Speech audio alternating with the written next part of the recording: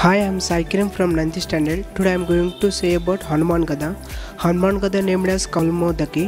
Hanuman carried the Gada weight of 45 feet long. Hanuman Hanuman Gada is made of gold. It is a